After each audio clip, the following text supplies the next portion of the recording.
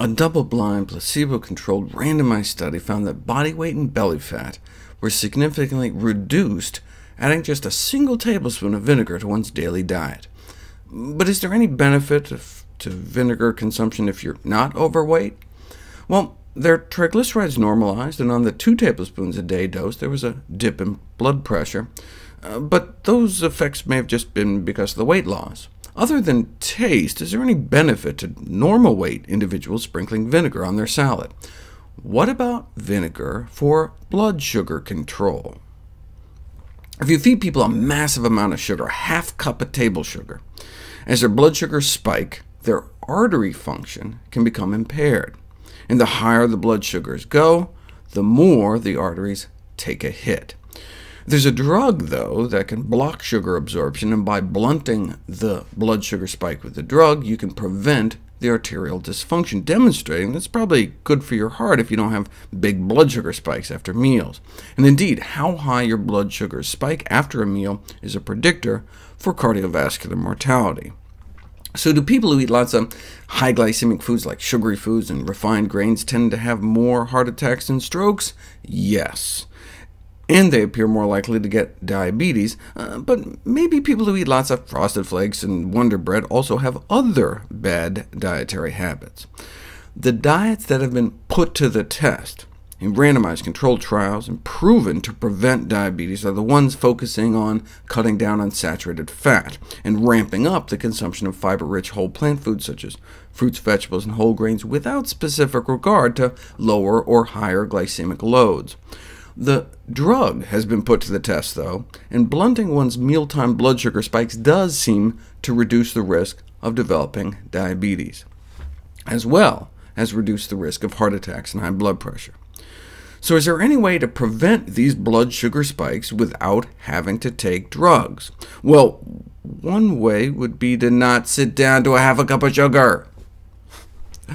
Yes, the drug can slow the progression of your atherosclerosis, Instead of the arteries going to your brain narrowing this fast on the drug, they only narrow this fast.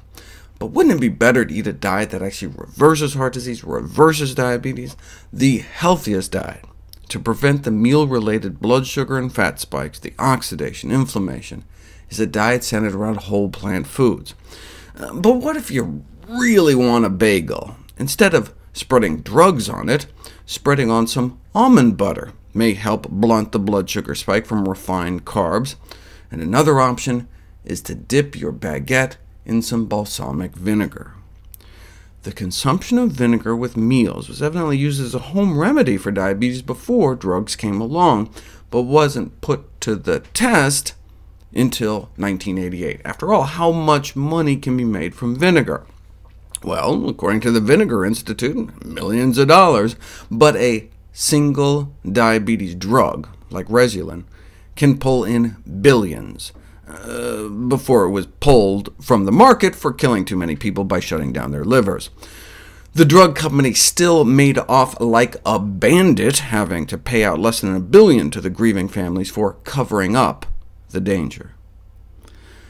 No liver failure from a peanut butter smeared bagel, though, cutting the blood sugar response in half, and the same with vinegar. If you chug down 4 teaspoons of apple cider vinegar diluted in water, you get that same blunting of the spike, and you get the additional advantage over the nuts of lowering insulin levels in the blood, something peanut butter apparently can't do, but presumably better than a bagel with lox, as fish causes triple the insulin response, or red wine, which also increases insulin levels, though not as much as the fish, and also shoots up triglycerides, though de-alcoholized red wine, non-alcoholic wine, doesn't have the same problem. OK, but what about vinegar? Not only may a tablespoon a day tend to improve cholesterol and triglycerides over time, vinegar can drop triglycerides within an hour of a meal, along with decreased blood sugars and the insulin spike, potentially offering the best of all worlds.